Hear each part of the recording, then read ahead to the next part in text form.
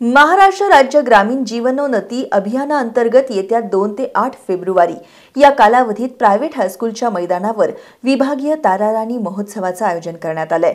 जिल्हा परिषदेचे प्रभारी मुख्य कार्यकारी अधिकारी अजय कुमार माने आणि जिल्हा ग्रामीण विकास यंत्रणेच्या प्रकल्प संचालिका सुषमा देसाई यांनी पत्रकार बैठकीत ही माहिती दिली आहे दोन फेब्रुवारीला सकाळी अकरा वाजता पालकमंत्री हसन मुश्रीफ यांच्या हस्ते या महोत्सवाचं उद्घाटन होणार आहे. या महोत्सवामध्ये विभागातील पाच जिल्ह्यातील स्वयंसहाय्यता समूह सहभागी होणार आहेत. या महोत्सवात दहा विविध प्रकारच्या दालनांमध्ये दोनशे स्टॉल्स असणार आहेत. यातील एकशे पंचेचाळीस स्टॉल्स हे विविध वस्तू विक्रीचे असणार आहेत. तर पंचावन्न स्टॉल्स हे खाद्यपदार्थांचे असतील.